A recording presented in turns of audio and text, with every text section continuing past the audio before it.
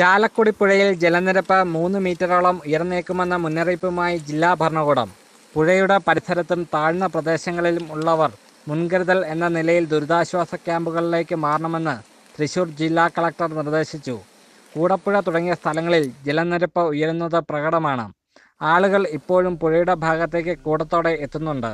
ഏതെങ്കിലും തരത്തിൽ വെള്ളം ക്രമാതീതമായി കൂടിയാൽ മാറാമെന്ന നിലപാടിലാണ് പുഴയോരത്തും താഴ്ന്ന പ്രദേശങ്ങളിലുമുള്ളവർ മുൻ വർഷത്തെ പോലെ വലിയ ആശങ്കകൾക്കിടയില്ലെന്ന വിവരവും അധികൃതർ പങ്കുവെക്കുന്നുണ്ട്. മുന്നറിയിപ്പ് എന്ന നിലയിലാണ് ആളുകളോട് മാറി താമസിക്കാൻ നിർദ്ദേശിച്ചിരിക്കുന്നത്. ജില്ലാ ഭരണകൂടത്തിന്റെ നിർദ്ദേശം പാലിച്ച ചിലരെങ്കിലും വീടൊഴിഞ്ഞ് ബന്ധുവീടുകളിലേക്കും ദുരിതാശ്വാസ ക്യാമ്പുകളിലേക്കുമൊക്കെ മാറുന്നുണ്ട്. News desk new year news.